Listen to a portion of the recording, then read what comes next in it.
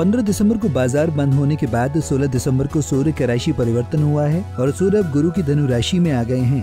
इसके अलावा बुध 16 दिसंबर को अस्त हो गए हैं। बुध ट्रेडिंग के कारक ग्रह हैं, जबकि सूर्य का गुरु की राशि में आना शास्त्रों के अनुसार अच्छा नहीं माना जाता, और इसे खरमास कहा जाता है। लिहाजा इस महीने शुभ कार्य वर्जित होते हैं। बाज़ार भी अब इसे एक महीने में सामान्य कारोबार करता हुआ नज़र आ सकता है। सूर्य की राशि परिवर्तन और बुद्ध की असत होने के अलावा मंगल भी अस्त अवस्था में रहेंगे, जबकि गुरु भी वक्री है। इस सप्ताह लंबी अवधि के लिए बाज़ार में पोजीशन बनाने ऐसी पूर्व बाज़ार की चाल को ध्यान में रखकर ही फैसला लेना चाहिए। अठारह दिसंबर को चंद्रमा, कुंभ राशि में राहु के सतभिषा नक्षत्र में रहेंगे। इस दौरान बाज़ार में सामान्य कारोबार होगा और मेटल, खास तौर पर कॉपर और स्टील के अलावा सरकारी सेक्टर की कंपनियों में फोकस हुआ नज़र आ सकता है। उन्नीस दिसंबर को चंद्रमा गुरु के पूर्व भाद्रपद नक्षत्र में गोचर करेंगे। इस दिन सिद्ध योग है। लिहाजा बाज़ार में बैंकिंग शेयरों आरोप फोकस बनता हुआ नज़र आएगा। चंद्रमा, चूँकि मंगल और शनि दोनों के प्रभाव में रहेंगे, इससे हमें मेटल शेयरों में अच्छा कारोबार होता हुआ नज़र आ सकता है। बीस दिसंबर को चंद्रमा, शनि के उत्तर भाद्रपद नक्षत्र में गोचर करेंगे और राहु केतु के मध्य रहेंगे। इस दौरान बाज़ार बंद होने के समय तक अशुभ व्यतिपात योग भी रहेगा, लिहाजा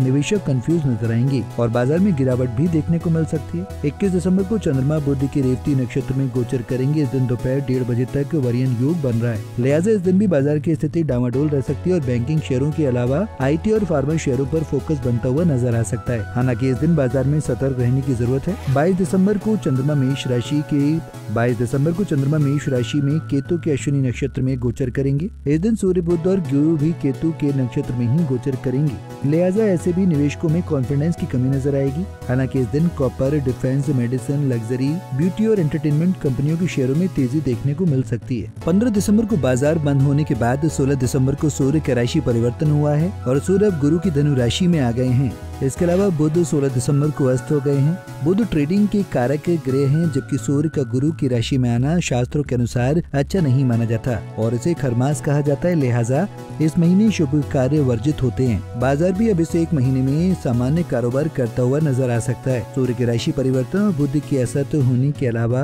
मंगल भी अस्त अवस्था में रहेंगे जबकि गुरु भी वक्री है। इस सप्ताह लंबी अवधि के लिए बाज़ार में पोजीशन बनाने से पूर्व बाज़ार की चाल को ध्यान में रखकर ही फैसला लेना चाहिए। अठारह दिसंबर को चंद्रमा, कुंभ राशि में राहु के सतभिषा नक्षत्र में रहेंगे। इस दौरान बाज़ार में सामान्य कारोबार होगा और मेटल खास तौर पर कॉपर और स्टील के अलावा सरकारी सेक्टर की कंपनियों में फोकस हुआ नज़र आ सकता है। उन्नीस दिसंबर को चंद्रमा गुरु के पूर्व भाद्रपद नक्षत्र में गोचर करेंगे। इस दिन सिद्ध योग है। लिहाजा बाज़ार में बैंकिंग शेयरों पर फोकस बनता हुआ नज़र आएगा। चंद्रमा, चूँकि मंगल और शनि दोनों के प्रभाव में रहेंगे, इससे हमें मेटल शेयरों में अच्छा कारोबार होता हुआ नज़र आ सकता है। बीस दिसंबर को चंद्रमा, शनि के उत्तर भाद्रपद नक्षत्र में गोचर करेंगे और राहु केतु के मध्य रहेंगे। इस दौरान बाज़ार बंद होने के समय तक अशुभ व्यतिपात योग भी रहेगा। लिहाजा निवेशक कंफ्यूज नज़र आएँगे और बाज़ार में गिरावट भी देखने को मिल सकती है। 21 दिसंबर को चंद्रमा बुद्ध के रेवती नक्षत्र में गोचर करेंगे। इस दिन दोपहर डेढ़ बजे तक वरियन योग बन रहा है। लिहाजा इस दिन भी बाज़ार की स्थिति डामाडोल रह सकती है और बैंकिंग शेयरों के अलावा आईटी और फार्मा शेयरों पर फोकस बनता हुआ नज़र आ सकता है। हालाँकि इस दिन बाज़ार में सतर्क रहने की ज़रूरत है। बाईस दिसंबर को चंद्रमा मेष राशि के बाईस दिसंबर को चंद्रमा मेष राशि में केतु के अश्विनी नक्षत्र में गोचर करेंगे। इस दिन सूर्य बुद्ध और गुरु भी केतु के नक्षत्र में ही गोचर करेंगे। लिहाजा ऐसे भी निवेशकों में कॉन्फिडेंस की कमी नज़र आएगी।